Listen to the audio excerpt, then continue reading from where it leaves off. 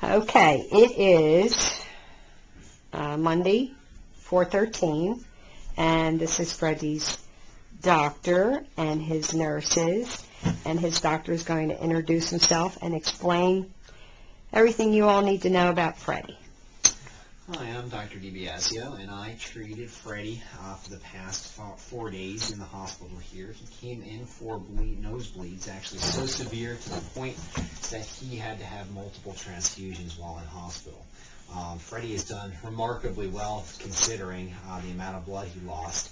And over the course of his stay, we did use a, number of different diagnostics to work out why he might have uh, been bleeding as much as he was. And the good news is, is that he does not have uh, anything really bad. Um, we, did a CAT scan of his nose, from the tip of his nose back through his brain. Didn't find any masses, so no evidence of cancer. No, that's wonderful. No evidence of any sort of foreign bodies or trauma that was in the nose, so he doesn't have a broken nose. Um, and no evidence on rhinoscopy, which is uh, when I go in with a camera both from the front of the nose and through the back of the nose, no evidence that he has any sort of fungal growth. Um, aspergillosis would be a fungus that can sometimes invade into the nose and eat into arteries and cause bleeding.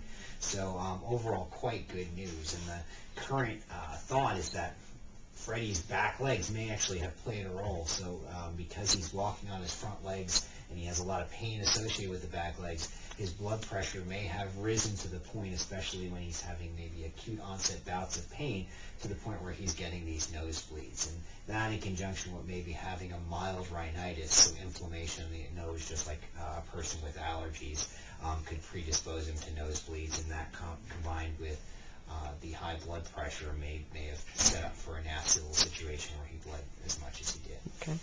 Um, good news is that we're going to treat the inflammation in his nose. We're going to treat his pain. Um, and another veterinarian is actually going to take care of his orthopedic issues. Right. And our hope is that Freddie will, will continue to improve and can you know, never look back from probably the pretty horrible things that happened to him in the past. But he's such a sweet dog, and we're all, we're all uh, hoping that he'll continue to, to do well and touch as many people's lives as possible. Well, thank you. And, and uh, we're at the Metropolitan Associate, uh, Metropolitan Veterinary Associates in Norristown, Pennsylvania. And Fred, you're looking at Freddie now because they saved his life. There's absolutely no doubt about that. He would not be sitting here if it weren't for these people who are taking care of Freddie now. So I'm getting to take him home, and uh, I feel very grateful for that. And if you ever need any help, this is the place to come. Okay? okay, thank you very much. Okay, Freddie and I are home. He's back on his bed. As soon as I opened the front door, he started wagging his tail. Wag the tail, Freddie. That's it. Wag the tail.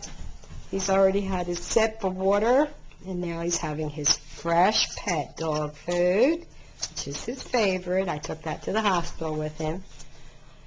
It's a miracle he's here. He's had such a hard time. And um, as you can see, he has not lost his appetite.